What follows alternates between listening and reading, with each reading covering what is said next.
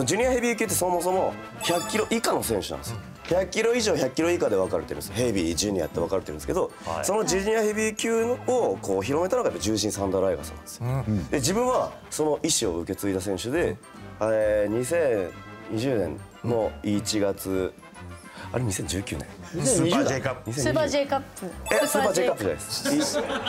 逆にあ2019スーパー J カップ。あれスーパー J カップ。2020 2020スーパー J カップだ。1.5ですね。スーパー J カップだ。そう引退は2021点はい。無視されてますやん。ライガーさんといえばスーパー J ライカップ。ガーさんといえばスーパー J カップ。スーパー J カップは一回忘れてください。すいません。ついに怒った